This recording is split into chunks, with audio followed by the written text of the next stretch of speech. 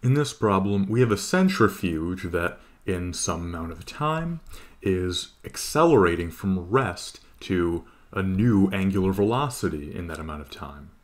The problem asks us to find the number of revolutions in that time.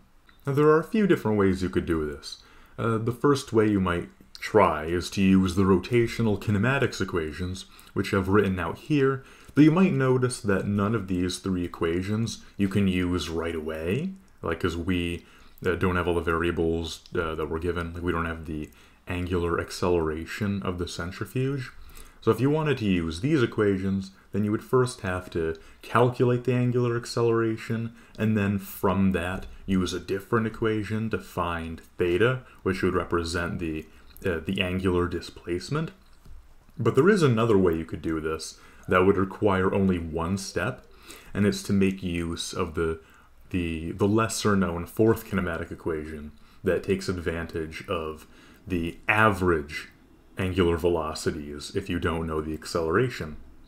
Though, of course, this only works if the acceleration is uniform, which the problem does specify. So theta is equal to the average angular velocity, which can also be written as being equal to half of the sum of the initial angular velocity plus the final times t, time. And then, of course, the initial angular velocity is zero, so you can just kind of ignore that term.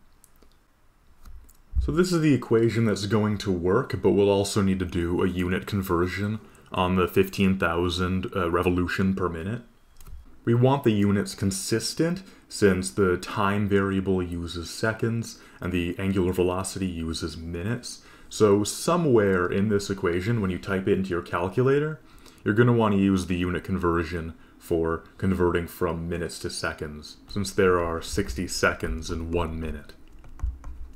So the way I would do this, for example, is just plugging in the values the problem gives us for 1 half the final angular acceleration times t, and then I would multiply it by the chain link conversion of 1 minute over 60 seconds, so that the minute in the numerator cancels out the minute in the denominator of the RPM. An alternative way of thinking about it is that the second in the denominator could cancel out the seconds in the numerator for the time variable, which would convert the time from seconds to minute. Doesn't change anything, just an alternate way of thinking about it. Point is, if you plug in the values the problem gives us using this little formula, then we find a number of revolutions of about 3 times 10 to the power of 4 revolutions. So 3,000 revolutions.